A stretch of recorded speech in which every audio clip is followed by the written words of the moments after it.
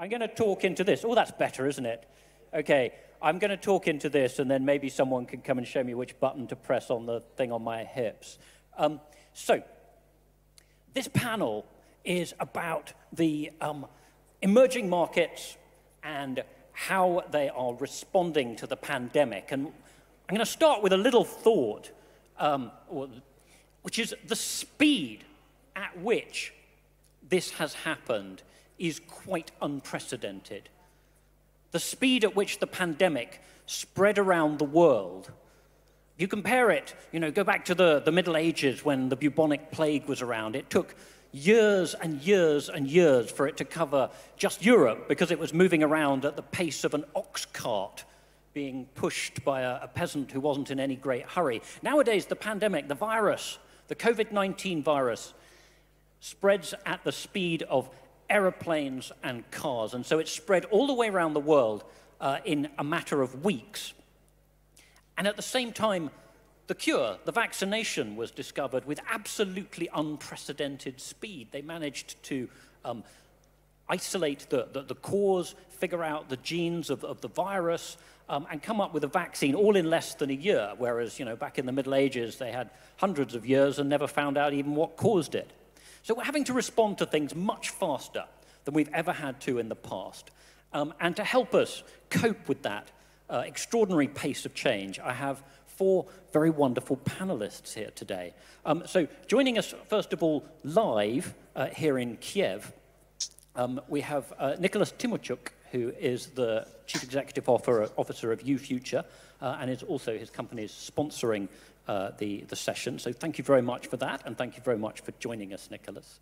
Um, we have uh, Dalia Marin, who is uh, an economist um, from the uh, Technical University of Munich, who's joining us.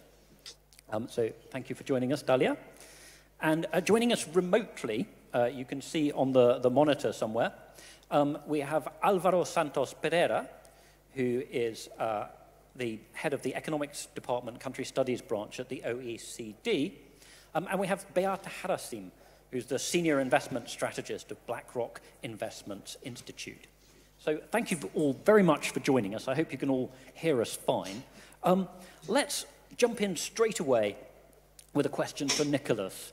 Um, Nicholas, perhaps you could tell us um, whether you think that emerging markets are well poised to recover from the, uh, the pandemic? Well, thank you for that. Well, first of all, you know, I think that we should, when talking about the emerging markets, first thing that we should do is always separate everybody else and China. Because it's like the joke of Bill Gates entering into the room and then everybody on average becomes a millionaire right in that room.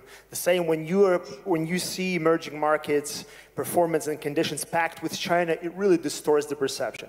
If we're talking about emerging markets other than china i think no they are not well positioned for growth for a number of reasons. Uh, first of all because covid economically has actually exacerbated the gap between the developed world and the developing world. First of all, because of access to liquidity.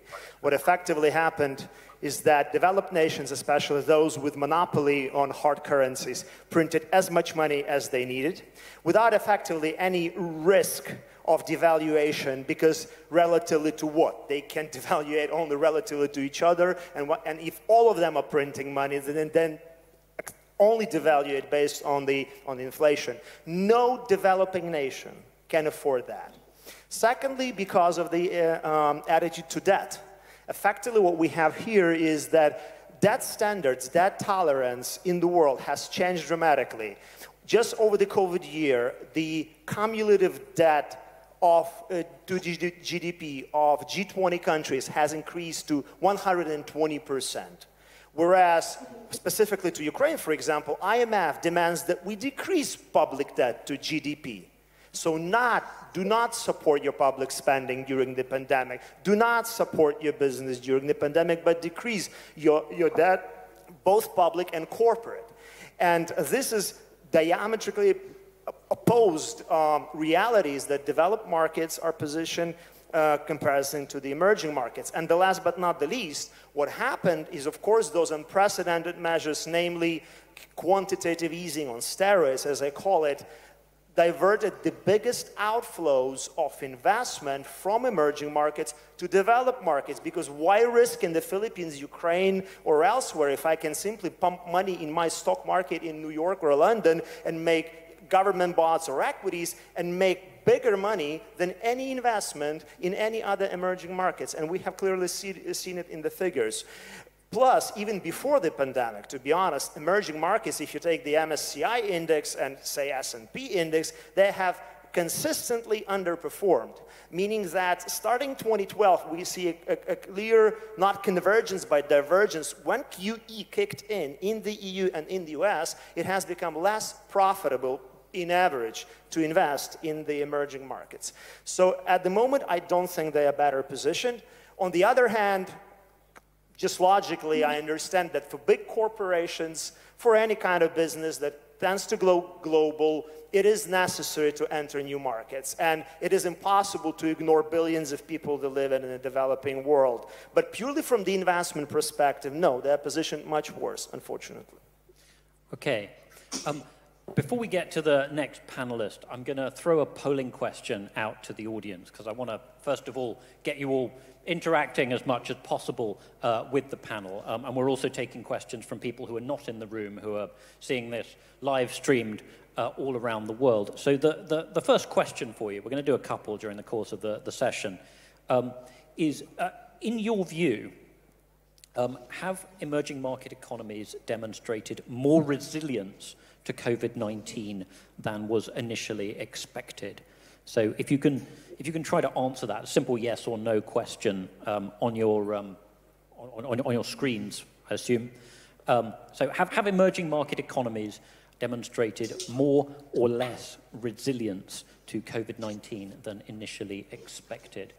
Um, and while we're, is that, is that result going to come through immediately? Okay.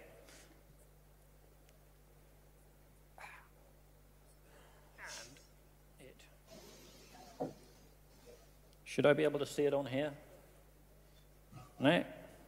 Okay, while that's coming through, um, I'm going to throw this out there to um, Alvaro. Uh, can you hear me there? Oh. I can hear you. Can you hear me? Excellent, perfectly. Well, you can now see the results which are coming out live on the screen, and it is looking like most people think that emerging market economies have shown more resilience um, than expected. Would you agree with that uh, assessment, and, and if so, why? I do agree with, uh, with that assessment. Uh, we just say hi to everyone, by the way, in Kiev. Sorry that I'm not there. I do agree with that assessment. However, uh, I should say that I'm more concerned about the hangover after COVID than I am right now. So I think that uh, countries have across the world uh, have utilized unprecedented um, uh, policy support and quite innovative policy, policy support. But we've seen across the, the developing world and across many emerging markets that, you know, contrary to what happened to many uh, advanced economies, we had lower incomes uh, going up. Uh, in many countries, for example, in Colombia, I'll give an example. Colombia incomes went down from 20 to 40%, depending if you're a formal or informal worker. Uh, there was also an increase in many countries of emerging markets um, informality. There was also an increase in inequality. Um, on average, women, young people, unskilled people uh, got worse off, whereas skilled people either got better off or they were able to save and increase their disposable income. And so that's inequalities have, have risen. Not only that, there were less jobs, and in fact, more less formal jobs, but also less informal jobs. And so I think this will have a consequence. And finally, I think we just heard uh, a major consequence going forward, and this is the hangover that I'm talking about, is the rising debt, corporate, household, and especially public debt. Even before COVID, um, institutions like ours, the World Bank and others, were quite concerned how debt was accumulating around the world, and especially in the emerging markets. And obviously, COVID just exacerbated the issue. Uh, right now, obviously, I think uh, in the short run, we are not we're not seeing anything uh, big coming up, and there's been support from some countries. But you know, I'm, I'm more concerned about in two or three or four years when the, the pandemic is over. um, there's less sympathy for emerging markets, and then it's possible they need to refinance their debts, and it's possible they'll, they'll have problems. So I'm more concerned about the medium term than I am right now. Right. Well, those, those debts will come home to roost, possibly even uh, for the rich countries. Um, can I turn to Dalia? Dalia, do you, how concerned should we be about the debt? How concerned should we be about the ability of emerging markets to recover from the huge blow that they took in uh, 2020? I'm happy to be here in Kiev. I have been here several years ago when there was a financial crisis in the emerging market economy. So I'm excited to see the city again and see it flourish, actually. I'm more pessimistic about the resilience and uh, the prospect of recovery for emerging economies and developing countries, and I will come to that in a minute.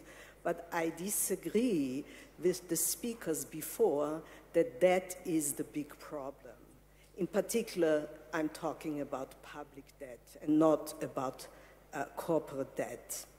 Um, the reason why I think that public debt is not the main issue now is because in a pandemic, it's quite natural that the government spends a lot of money and it's required to spend a lot of money because uh, the government has to compensate, compensate the, the, the, the, contraction of the economy so that not everything falls apart. It's, it's quite natural that the government steps in in this case. And now we have a pandemic, and in the pandemic, we require public spending to fight against the pandemic, to, uh, to give uh, vaccinations for everybody, to give masks for everybody, and so on. So it's, and the third thing is that interest rates are historically low, so financing public debt has become very cheap, and it's actually uh, the government gains from um, spending more. So it would be quite stupid for the government not to incur debt at this moment of time. But let me come to another issue. And the other issue concerns the prospects of emerging economies to recover. The pandemic had a big impact on the world economy. It changed it. And what happened is that in, in the pandemic, the global value chains uh, have, have declined. So what are global value chains? Um, you might know that the world has started to produce in global value chains since the fall of the Berlin Wall because the rich uh, firm, the, the, firms in rich countries started to produce, to relocate production to low-wage countries like China and emerging Europe and Russia and Ukraine. So, and that helped these emerging economies to grow. So their basic growth strategy was based on being part of these global value chains that emerged after the fall of the Berlin Wall. And what happened now in the pandemic is that the there is a big uncertainty shock. People don't know whether they get the inputs from the, from the emerging um, uh, countries anymore. So these global value chains have become less profitable.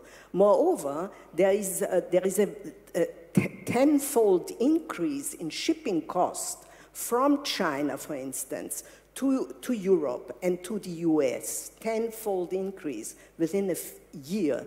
So that makes uh, uh, the business model of producing in global value chains uh, not profitable. And that hits the emerging economies because basically that was where their growth was based. So I think the emerging economies have to rethink how, take, how they can grow when global value chains become less um, important. That's, that is a very good point, and that's, that's very much in the news at the moment. I'm going to bring this to uh, Beata Harasim. Um, so the first impression that people got um, shortly after the pandemic hit was that supply chains held up really well. A lot of people were thinking, oh my gosh, because of the pandemic, uh, we're not going to see, the shops are going to be empty, you won't be able to buy toilet paper, you won't be able to buy baked beans, everyone must stock up on, you know, baked beans and ammunition. Um, and that didn't happen. The, the companies that run the global supply chains turned out to be really good at their job. And there were some brief shortages in some countries, but by and large, people didn't run out of stuff. People didn't starve because of the pandemic. Nonetheless, it's clear that the supply systems are under a lot of strain. Um, and they're under a lot of strain in two ways. Firstly, just the logistics of dealing with the, the, the, the, the pandemic. Secondly, the fact that you've now got fuel prices have really rocketed by, back up. Um, and also there's this sort of sense of nervousness about, you know, can we rely on just-in-time delivery? You know, what happens if a big disaster makes it impossible for us to get, you know, uh, chips from, from, from, from Taiwan uh, or uh, fuel from the places we currently get fuel?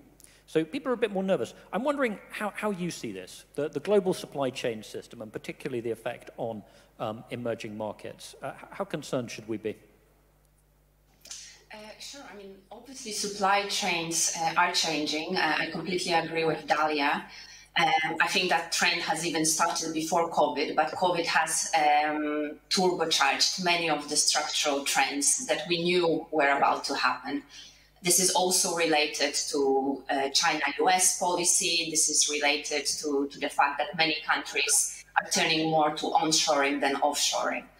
I think this has really big implications for inflation over medium term, and that is a factor which will obviously uh, impact emerging markets as well. So I think over medium term, we can expect that uh, production costs will increase globally.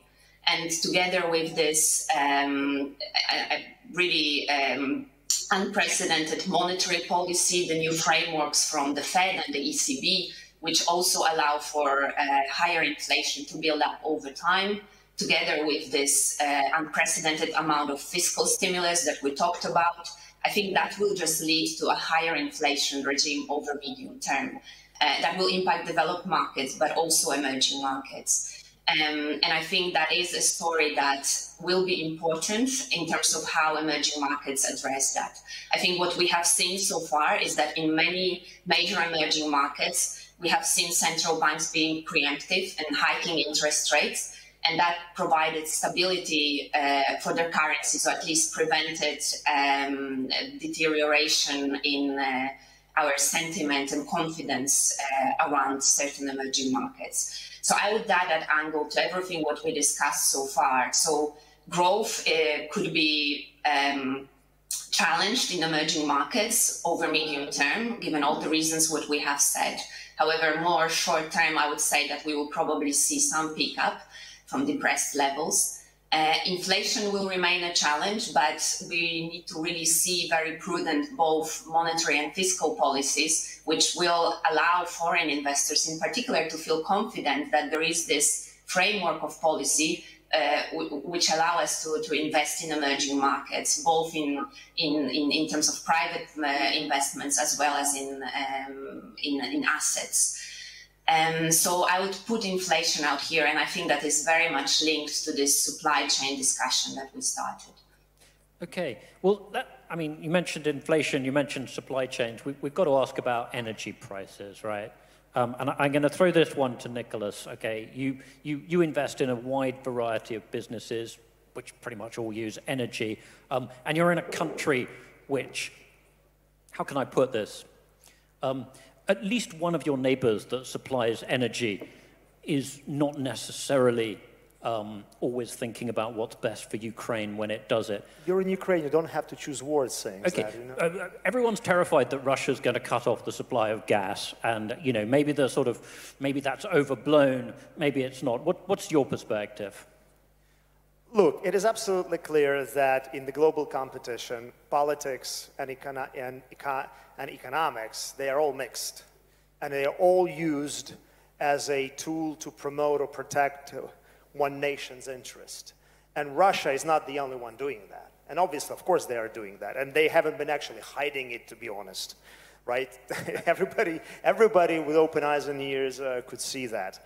Well, the, I, the president actually wrote an essay saying that Ukraine belongs to Russia which is well he didn't quite say that he said that russia and ukraine were one people but that's but that's that's uh, quite close right anyways so the thing is because I, I, come from oil and gas i worked for oil and gas for quite a while and i understand the market and uh, there always has been like the two dimensions to this market particularly one was long-term contracts you want stability you want price stability you want supply stability take long-term contracts. The other was let let market do its job. So let's have stock, let's have um, open uh, spot market, and let it work. And actually, both system has pros and cons. What we're seeing now, obviously, is the, is the disadvantage, is the flip side or weakness of the spot market. When there is a shortage, when there is a deficit, prices soar. It's as simple as that. Now, will some countries use it,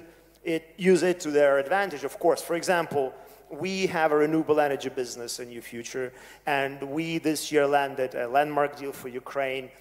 We attracted a strategic investor from Qatar, Nebras Power, and they bought a majority package in our uh, solar photovoltaic station portfolio. Now, they are happy about the situation at the global market with gas because they're the biggest LNG exporters, right? So, and they don't necessarily use it as, uh, as same way as Russia, promoting their interests globally. So I would say that um, it only, same as COVID, what it will do probably only uh, spearhead the trends to energy efficiency, to renewables, and to actually having balancing and mitigating factors at any given market so that, like in the UK, they don't have to go for blackout because of the gas prices on domestic market. Yes. Now, some of this, some of the energy price problem, you know, the, the, the, if there's a silver lining to it, it's that it might drive uh, investment in cleaner energy and that that will be good for the, the climate. But it's also a function of the fact that we've already been trying to move towards cleaner energy, that investments in fossil fuels are about half what they were a, a couple of years ago. So there isn't the capacity uh, to meet the demand that's just uh, bounced back after the, the, the COVID pandemic has um, receded in many parts of the world. So I, am going to throw this to, to, to, to Beata. Um, high fuel prices and the shift to cleaner energy. Is this, you know, what are the short-term and long-term effects that this is going to have on emerging markets. I mean, you know, a lot of places clearly would, would, would not benefit from, from, from climate change. One or two emerging markets, you know, one can think of the north of Russia might benefit from it. What's, what's your perspective on, on how emerging markets should handle this transition? I mean, you're obviously right that emerging market is not a homogeneous group of countries. We know there are uh, commodity exporters, especially exporters of the clean commodities, which will benefit from, from the transition, but there will be also losers. And, um, you know, you talk about the short term and long term, and I think that's very important. Short term, obviously uh, countries exporting oil or exporting energy will benefit from the higher commodity prices, which I think are driven also due to two different factors. So, I mean, there is the restart effect, uh, which is fueling commodity prices, but then there is also this longer term structural trend and transition towards um, less carbon uh, economies. And um, I, I, think, again, there will be benef- beneficiaries and there will be losers. Um, we cannot really say that uh, on balance emerging markets will benefit from it or, or will lose. Uh, I think we really need to look at each country separately.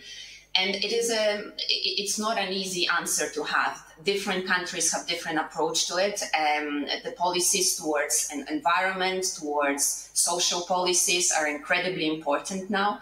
Uh, but also it's about the resources that emerging markets have. And I think here, aside from China, which uh, clearly have resources to uh, turn towards more um, clean energies and, and transition towards um, net zero targets uh, by 2060, um, many emerging markets, uh, which are lower income countries, don't have enough resources and remain uh, unfunded in that field.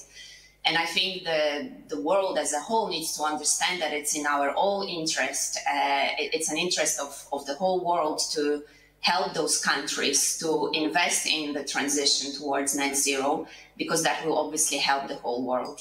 And there have been multiple studies done in terms of how much investments we need to achieve the uh, net zero by 2050.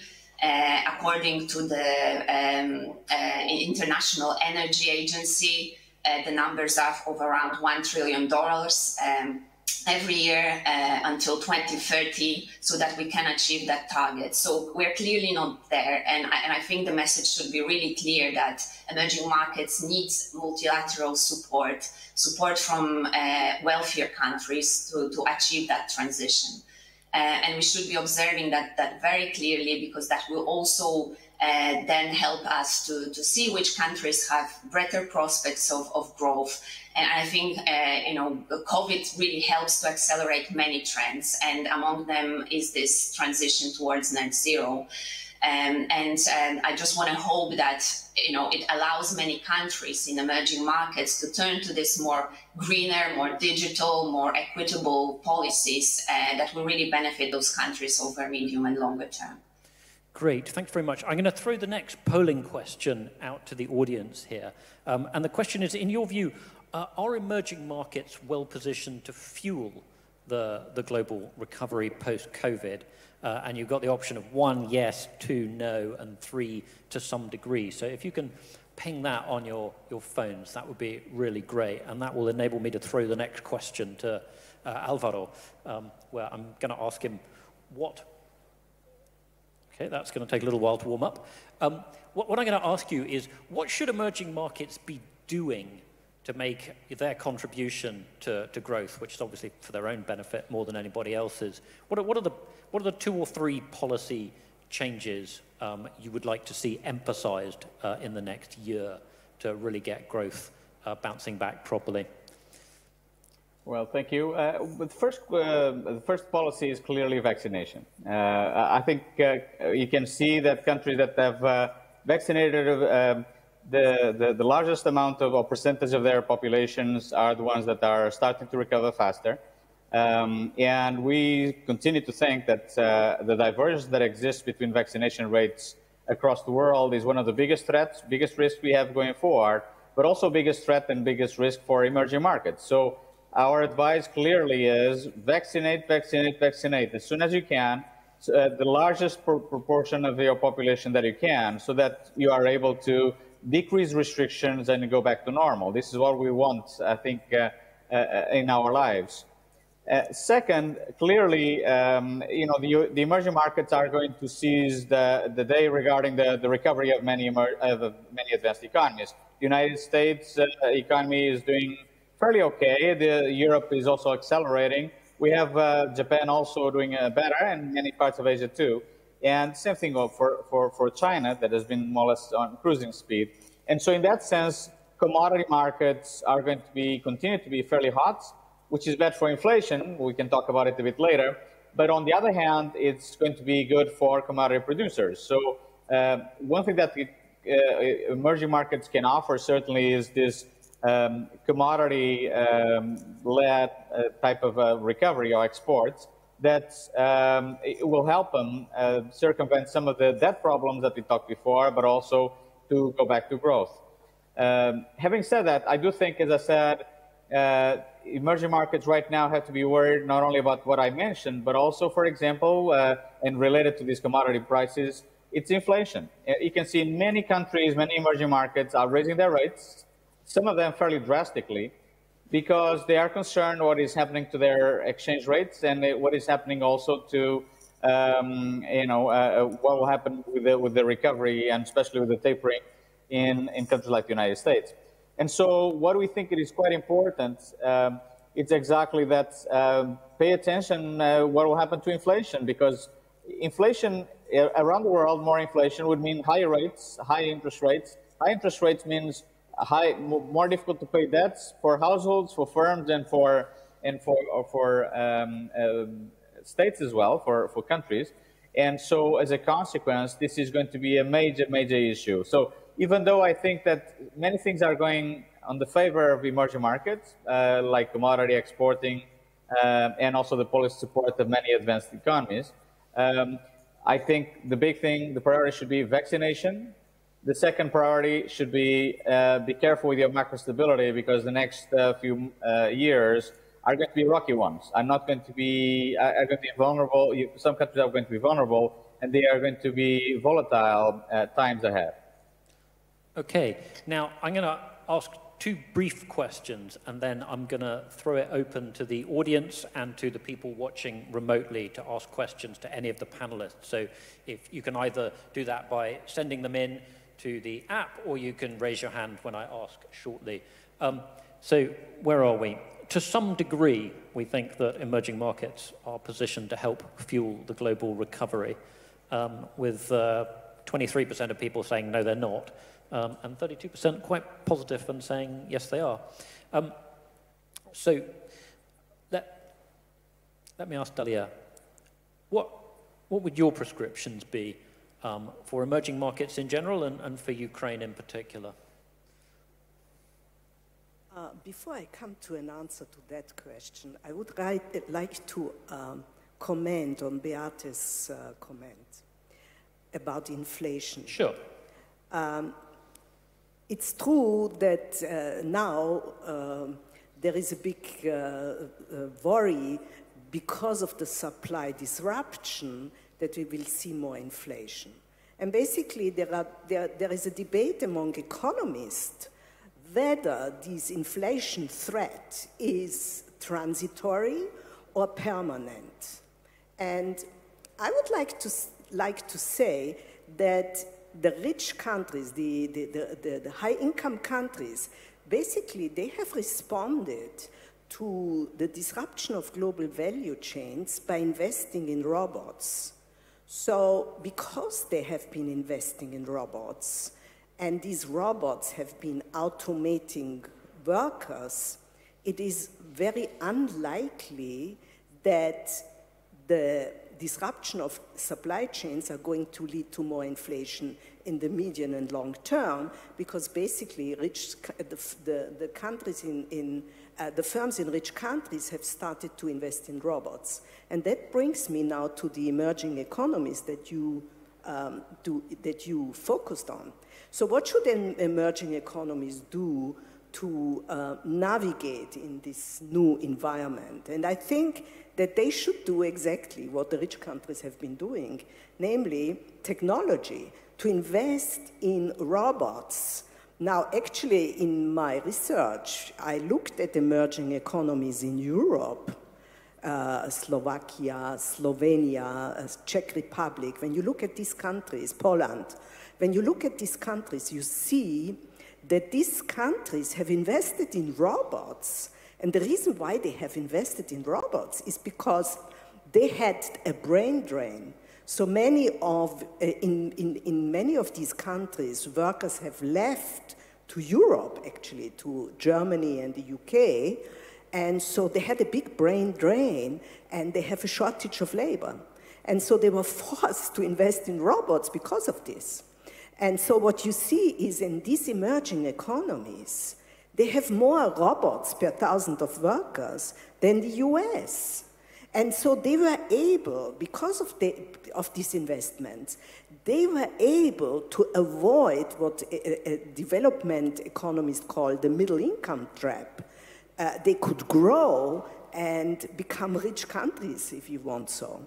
So uh, my prescription is that emerging economies should start to invest in robots and that will help them to increase their productivity, to keep labor costs low, and, and so to grow. And the other prescription is probably if you see a further retreat in globalization, uh, some of these countries will need to think about regionalism, to think about how they can export more to neighboring countries rather than um, to faraway countries. Okay. Um, Right. So if anyone would like to ask a question to one of the panelists, if you can raise your hand, uh, and I will recognize you, and someone will bring you a microphone, I think. So, um, and I'm also going to read out one of the, the questions from the uh, audience who are watching remotely. So I'm actually going to start with that. Um, the question is, uh, it seems that uh, information technology workers have been largely unaffected by COVID-19 restrictions because they're able to um, work wherever they like. Do you think that this is going to be a, a permanent state of affairs, and, and how do you think that's going to affect emerging markets? Maybe if I throw that one to Nicholas, would you like to take that one? Sure. Well, it's just been debated at the previous panel right at this stage about the future of work and leadership.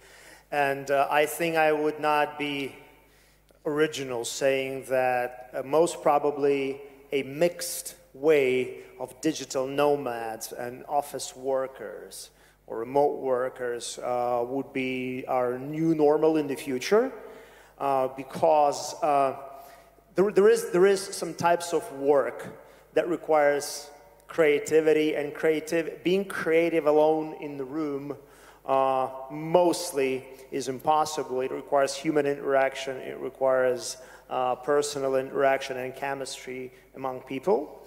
Uh, on the other hand, there are a lot of technical, repetitive uh, assignments or jobs, or types of, even in the information technology field, that probably could be done remotely uh, mostly. And, I, and you know what, same as uh, with all the trends that COVID has accelerated, actually being a digital nomad was not something that COVID invented. This trend of a growing number of people around the world who are not tied physically to any single country or city has been growing, and COVID only accelerated, uh, accelerated this but change. It accelerated it a lot, right? It is accelerated a lot, but once again, you know, it is, so I think what we have all to differentiate is how we respond to a crisis and how we live sustainably. What I mean is that everybody was very excited that when suddenly the entire world went on lockdown last year, people managed to work from home. And surprise, surprise, in some cases, the, the um, uh, effectiveness actually and productivity even increased, but people forget that it was for a relatively short period of time.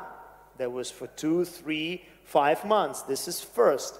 Secondly, that was due to the fact that most of the world was on a severe lockdown, meaning there was nothing else you could do. In some countries, you could not even walk on the street freely unless you were going to a drugstore or to see a doctor. So, of course, people would sit home and, of course, they would work, be it IT professionals or not. Now, can you really build a core? Any culture, or organ, corporate culture, organization culture, can you build a personal relationship sitting at home online via Zoom? I doubt it very much. So um, that, that's why, again, not being original, there's going to be some sort of a mix that we will see in the future. And by the way, may I piggyback a little bit on public debt, which you said? Uh, I really would like you to send this message to IMF and other financial institutions that have been stifling countries with, like Ukraine about public debt, that it's normal to increase it, especially in times like COVID, and not to decrease it to receive another tranche. I would really appreciate as the Ukrainian, just as a citizen, not as a business person.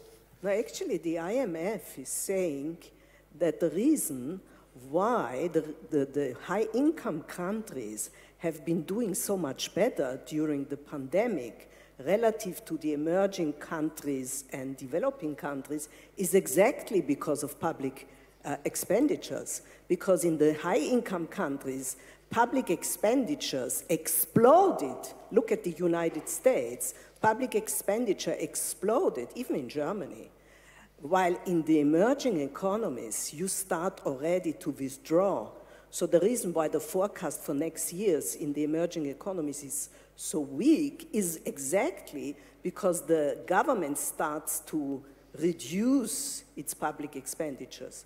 So the IMF is not prescribing for emerging economies to stop, uh, uh, to stop um, to, to stop government uh, expenditure. I, I, think Nicholas well, might well, want what to... IMF is doing effectively is prescribing emerging economies, Ukraine in particular, to meet certain macroeconomic uh, KPIs or thresholds, which do not absolutely allow countries like Ukraine to increase public debt since they directly prohibit countries like Ukraine to increase public debt. On the other hand, they demanded to decrease public debt for us to receive the next portion of the tranche. So what is allowed to the United States and Europe is not allowed to the emerging markets in the eyes of IMF. That's pretty accurate. Um, can I move on? First of all, anyone who wishes to raise? Yes, there's a, a hand there at the back. Can someone get him a microphone? Um, gentleman over there. We have. And if you want to say who you are and maybe which of the panelists you'd like to address your question to. Thank you. Uh, Vladislav Danileko, UFuture. Uh, my question is, what weight do you give to the drastic vaccine inequity uh, on the chances, on the prospects of, uh, of recovery of emerging markets, if any? Okay, um, perhaps um, Alvaro, would you like to take that one? I can talk about it. I can say thank you. Um, well, this is a, a, very important point, you know. But I give an example without even talking about the recovery, just to see the perspective and what is the difference uh, in many many emerging markets. Think about Latin America. In Latin America, you had the longest, um, uh, not only lockdowns but also school closures um, of any part of the world. And so uh, there's a huge inequity uh, around the world, even just about school closures and which means in many parts of the world, some kids had zero classes for a year. This will lead to a substantial increase, uh, likely school dropouts, and uh, also inequality is going forward in, uh, in, these countries. But also, many of these countries will have um, skills that are not as good because partly of the school closures. And so, coming back to you, uh, so obviously, if you maintain low rates of vaccination, if you have no access to vaccination or if you have very low rates of vaccination, that means that we've seen throughout the last two years that we are going to have, unfortunately, more waves of the virus coming. You know, these virus can be more virulent, can be more contagious. It can be less. We don't know. You know, in previous pandemics, you know, these waves, it, it depends on the mutations, on the variants. So we'll see. But we know that on average, uh, if countries don't vaccinate, that means that they'll have to impose more restrictions uh, so that they don't, don't have problems with their healthcare and the rest of the economy. So obviously that will uh, slow down the recovery. And so this is why what we say that the most important policy right now is vaccination all around the world, as fast as you can, uh, and with the largest portion of the population that you can. Okay, but I mean, because it's, it's, it's, it's partly a question of vaccine inequity, it's partly a question of the vaccines not being available, but it's also partly a question of people being amazingly unwilling to take the most extraordinary medical advance of the, of, of the current century. Why, why is that happening? Why are people not taking their vaccines? Why is it not happening in Ukraine? Nicholas, do you want to tell us? Well, I'm not, I'm not a government representative, so I probably cannot give you the full picture. I can only give my personal point of view. You're a concerned that, right? citizen, right? Right, right. But so first of all, we didn't have it available. Of course, uh, I mean, but it, this is for a very short period of time. I'm talking first half of 2021, when there was a competition among the world to get it first. And of course, Ukraine was not among the first, uh, even dozens of countries that were in the line to get it first. Uh, and richest countries have got it first. Surprise, surprise. I don't know why or how it happened, but somehow it happened exactly like that, right? Then Ukraine, and now we have, as far as I'm concerned, plenty of vaccines of all kinds. Uh, Sinovac and Pfizer and Moderna and anything you can get your hands on. But there's, there's a question about, um, first of all, infrastructure because uh, no country in the world, and Ukraine among them, was prepared for this kind of event, even though uh, smart people like Bill Gates were talking about this long time ago. Uh, the, there's not sufficient infrastructure, vaccination points, etc. And of course, there is this hesitance among public, uh, which I cannot explain, to be honest, because why otherwise smart and rational people would not even be afraid of death, of their own life and uh, their loved ones when they take vaccines all their life, and especially in the, in the Soviet Union. Uh, and, and after the Soviet Union, there was a mandatory vaccination for everybody for all toddlers, for all kids, for all school kids. Every year when I went to school, my kids went to school, you could not get into, start a new school year without vaccines. It was absolutely, but this specific vaccine against this specific disease, for some reason, causes huge doubts and speculation. But I think, my personal opinion, I think it's another uh, tool of hybrid warfare because why attack countries? Why uh, do some economic sabotage if you can spread very cheaply through social media and other available tools? And we know what social media does lately. It actually exaggerates all the conflicts and uh, controversial things. So you can use the, this method to actually undermine other countries' well-being by exactly as our colleagues, fellow panelists say, by not by spreading lies about vaccination, people are becoming hesitant, their economic growth, and in general, capacity as a nation declines significantly. Okay. So I think it's a combination of factors. Okay, well, that's a, a very foolish um, uh, weapon, given that vaccine, you know, the, the, the, the, pandemic blows back, and if it's in one place, it's going to come back to wherever wherever you are when you when it's you a foolish it. it's a foolish thing to do if you think doesn't uh, mean it's not happening. If you care about your population, okay, if you yeah. think that human beings are invaluable uh, there are countries who do not consider human beings, even their own, to be invaluable and ready to sacrifice them for higher political goals. Okay, that's a worrying thought. It's a question down, down here. Um, so there's two people in a line. The one okay. slightly closest to me and then the second one. Okay, thank you very much. My name is Marco Jaman, coming from Turkic Council, a new regional organization. Its members are Turkey, Azerbaijan, Kazakhstan, Kyrgyzstan, and Uzbekistan. My question is for Ms. Dalia Marin. In his uh, speech, he, she mentioned about uh, a retreat in global trends, a retreat in globalization, and talk about uh, uh, the regionalization. We can talk about maybe in regionalization, an increase of intra-trade among the members of certain economic blocs or regional organization. Could you elaborate on this fact, please? Dalia. Uh, yeah. When you look at the development, um, what you see is basically, for instance, in emerging Europe, these countries have been exporting the inputs within supply chains, in particular to Europe. So Germany was a hub. So what happens is probably, so this is a prediction that I'm giving. I think that firms have three ways uh, to respond to um, the shock of the pandemic to make supply chains more resilient.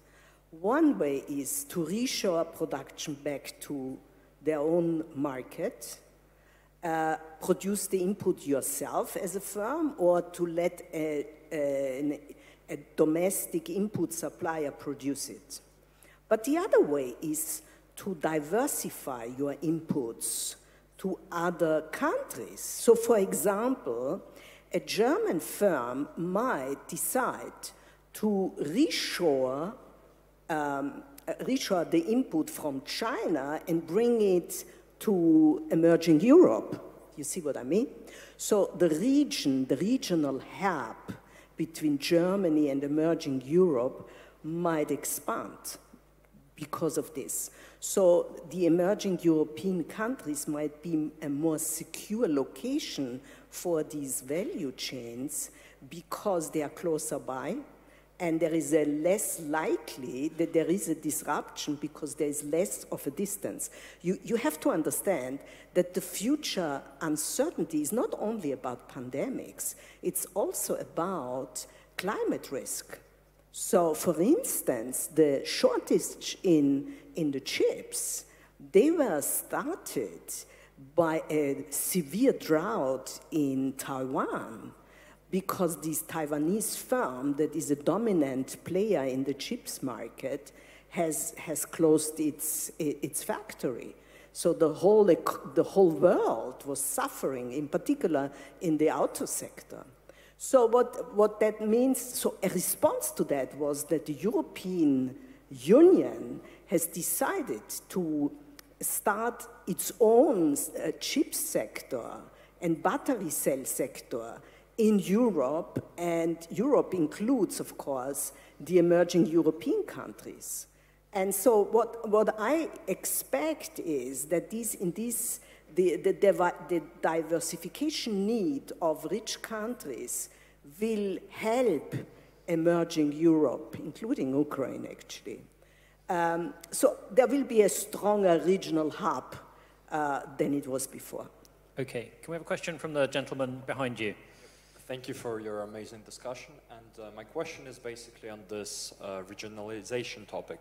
So you mentioned that the Europe Hub will benefit from this. However, the uh, countries like, you know, in Southeast Asia, like Taiwan that you mentioned, China and other countries, they will actually suffer. And don't you think that it might lead to a crisis in the emerging markets since we already have, you know, our supply chain is disrupted and therefore we might get into further crisis for those countries that are export oriented? Thank you. Um, you know, when you look at China, you see that China has already changed its business model of development. They started to uh, uh, reshore production back to China from the other Asian countries, actually, from India, Vietnam, and so on. They reshored Japan. They reshored back to their home market. So the Chinese have, an, have a new model to be less dependent on exports and more dependent on the domestic economy. So China has been doing this already before the pandemic, and they are certainly going to uh, continue it, in particular because they will see that the reshoring is happening, that the rich countries are bringing back their supply chains to their domestic market or to Europe. And then the other thing is that uh, you know, because of the competition in technology between China and the US, China also tried to become more independent in its technology. So that's the another reason why China is, is, is, is turning more inwards rather than more outwards. So this is a tendency that you have been seeing already before the pandemic and it will continue. Okay, we're going to try a couple of very quick fire questions. I'm going to take one from the online audience, and then I'm going to come to the gentleman there, and I'm going to ask the respondents to, to answer sort of fairly briefly. So the, the online question, which, which I'd like to pose to Beata, if you're okay with that, um, is how can the most uh, fossil fuel dependent economies, such as Russia and the Gulf states, diversify away from that? Really swiftly, how would you answer that? Ah, we can't hear you. Uh, hope you can hear me now. Yeah, I can hear you now. Great. Great. Uh, so I think obviously investing in renewable sources of energy. Uh, Saudi Arabia is already trying to do that. I think Russia should also spend more efforts uh, doing that. So transitioning from uh, fossil fuel intensive uh, sectors and industries into the greener energy. Okay, that's a great answer. Um, and the gentleman down there, can someone give him a microphone? Do you have a microphone? You have one. Brilliant. What's your question, sir? Um, uh, my question is uh, about uh, Green Deal uh, investments. Uh, when we talk about emerging markets, uh, we discuss here only commodities or any trade relations. But when we talk about the possible investments to modernize uh, Ukrainian economy. The calculations say uh, Ukrainian economy needs uh, from 50 to 200 billion dollars. Um, and in fact, until now, uh, Ukraine is uh, somewhere in the outskirts of European Union, and uh, there was a promise to have a green fund from Germany of $1 billion, which is uh, absolutely not enough. So when we think about the possibility of trade between Ukraine and, uh, and European Union as a main partner in the future, that will be all the time negative balance. So my question is that, do you think uh, it is really possible to talk something about real figures and then it will boost uh, the economy because the economy is uh, quite dependent on the emissions of CO2 and other emissions. Is it really possible to talk about that? Because now, until now we see that European Union announced about uh, uh, around 1 trillion euros of investments, uh, also 80% from the budget, but uh, we see here only the promises of $1 billion from Germany. Okay, and is that addressed to one particular member of the panel? I mean, I can ask Alvaro, he hasn't spoken for a while, and I'm sure he has strong views on this. Yeah, yeah I, I think this is to our online speakers. Okay, Alvaro. Well, I, I, think certainly there are great opportunities for Ukraine going forward. I, I, I really think Ukraine uh, can play a very important role, not only in the region, but also uh, increasing trade with the European Union. For me, the most important thing about Ukraine uh, certainly can seize the opportunity of the New Deal and the, the Green Deal. But, but I think uh, the pandemic opens the opportunities as well for Ukraine, either the, with the the new onshoring that you're going to have. So there will be uh, a lot of uh, uh, industries that might uh, want to relocate, and Ukraine might be attractive. Um, and also because of the pandemic, uh, the, the impulse with digitalization, which is going to help, uh, especially your IT ser services and other services that could, in which you have quite a lot of people there. So doing the, the, working on this sector, so it might be a good possibility. But I think most importantly, going forward uh, as I think Nicholas was saying, okay, let's let's not focus so much on fiscal. The, the, focus in the next few years should be for the recovery. How can you improve the business climate in Ukraine? That's a crucial thing, so that you bring more not only European but other international investment, either green um, or, or or some sort of a, a green uh, infrastructure as well. That's an excellent answer. So I'm going to go through the panelists one by one. To, oh, sorry, was there one more question down there? We'll give you one more question. Um, do you have a microphone? It's coming. If you could introduce yourself as well, please, sir. Thank you. Uh, thank you. I'm Andrei Tsimbal, managing partner of KPMG in Ukraine. Um, um, my question, I will address uh, the panel um, and maybe uh, you know, Nikolai or international guests.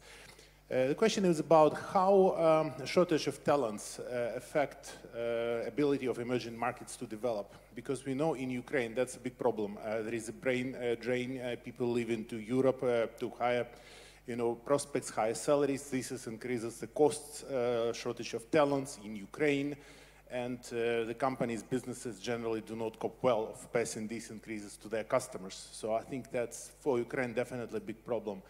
Um, so any reflections, whether it's a widespread issue for emerging markets where people are leaving, the talents are in the short supply, and how, uh, how to deal with that? Thank you.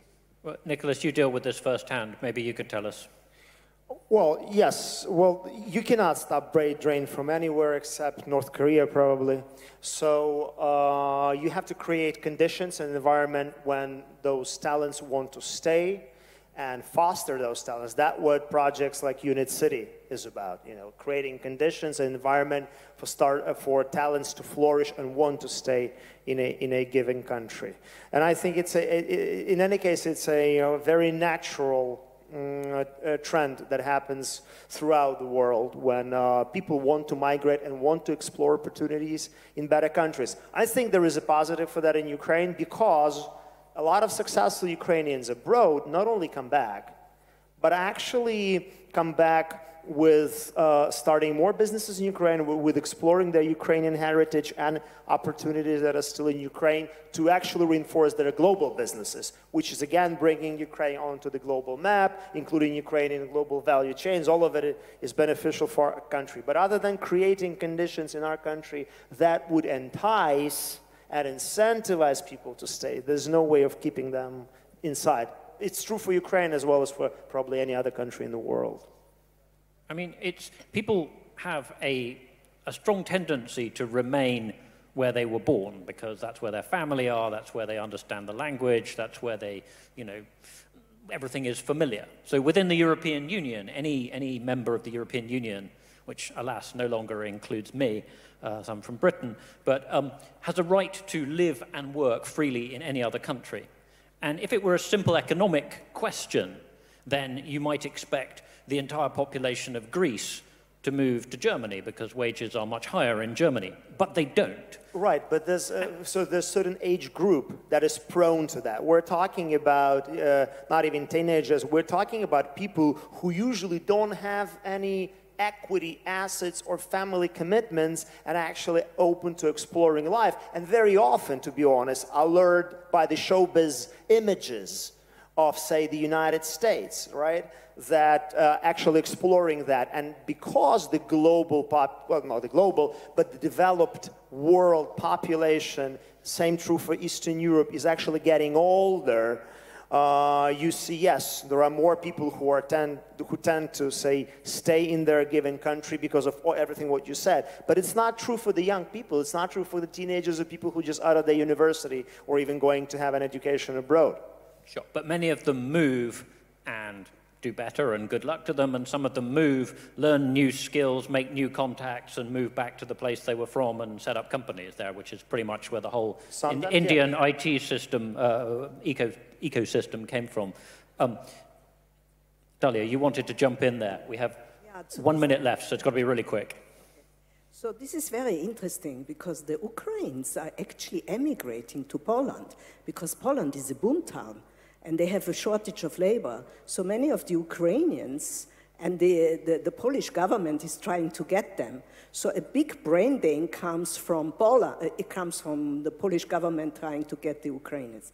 But it's very interesting that Ukraine and Russia were the countries which have been the most highly skilled population.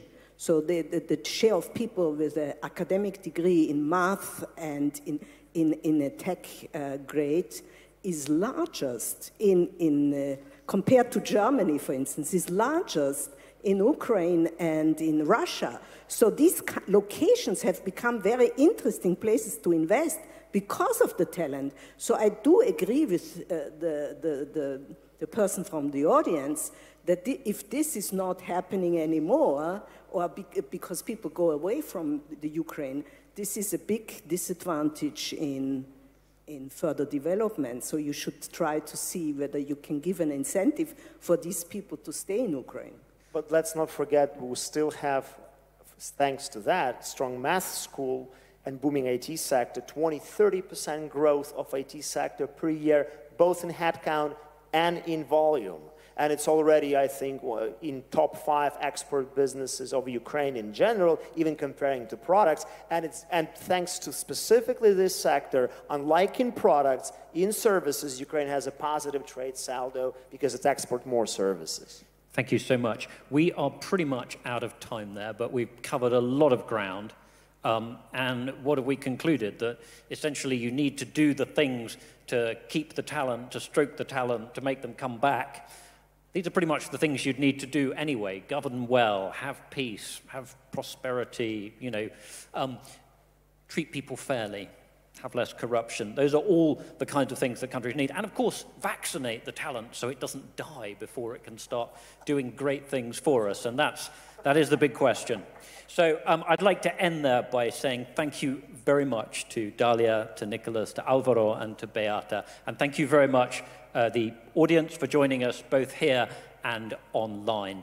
Um, there's going to be a break now, um, and there's another session here uh, in one hour's time, so um, which is on uh, healthcare. And gosh, I think we might mention COVID-19 during that.